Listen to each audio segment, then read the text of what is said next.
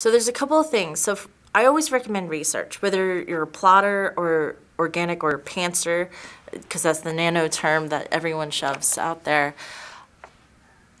Do some research, but the research changes depending what genre you're writing, what story you're telling. So for me, for instance, I have a book full of notes of the mythologies and the stories and references that I've decided to use if I was writing a contemporary romance, I might have either a cork board or magazine clippings or a Pinterest board with scenes of the places I'm taking them on dates at or restaurants or hotel ideas, scenes of what I imagine the couple to look like.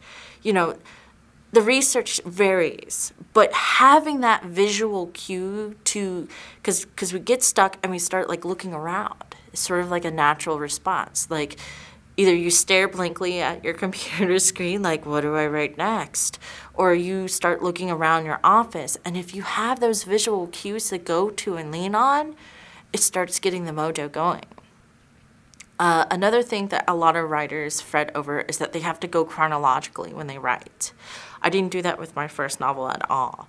Granted, I've done a better job of prepping myself for writer's block because I learned what where what snags me and how to, to defeat it, and that's part of the process of writing multiple stories.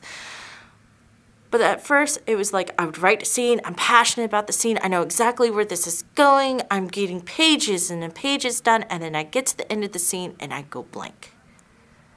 But there's this other scene that's like four chapters ahead. So I would save that file, put it away, open a fresh file, label it chapter whatever or that scene, you know, whatever helps you know instantly just from the title what was written there. And I'd write pages and pages.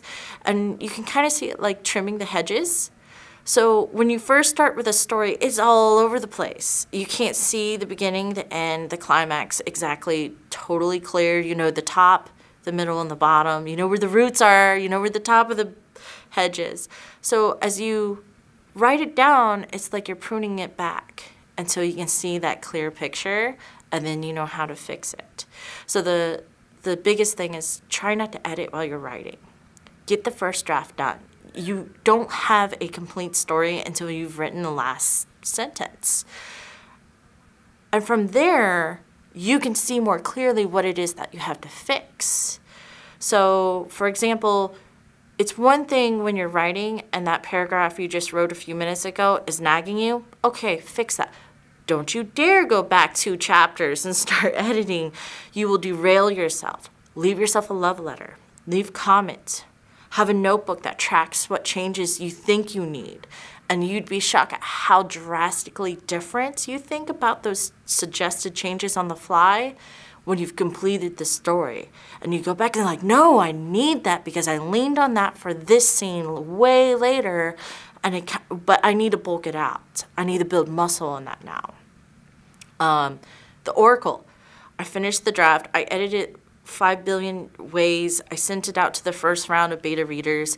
They're like, it's great, but I don't know, something seems off. And I'm like, I know it. I can't, and I'm looking at it, I'm looking at I take six chapters and I reverse the order of them. And then I took two out of that and then I kind of like reorganized that material among the four remaining chapters and sent it back out. I said, read it and tell me how it goes now they're like, this is this is not even the same story. And they're like, but didn't this happen like later? Or they noticed things that they didn't even register I had written. I hadn't added anything new. I just reorganized the information where I thought would emotionally tug the readers. So yeah, it definitely takes finishing that first draft. So do whatever you can to keep yourself going, whether you're writing out a sequence, whether you're depending on visual cues to keep your, your imagination going. I usually have playlists for each novel. So the music kind of inspires like theatrical scenes going on in my head. Um, and if you're really, really, really engaged with your world building, keep what we refer to as Bibles. Uh, author Laura Perez she has a notebook for each novel she writes and all the rules to the world are listed in there all the information of the characters everything to help her stay consistent because consistency helps you maintain a writing flow And it also makes a heck of a difference when your reader reads your story.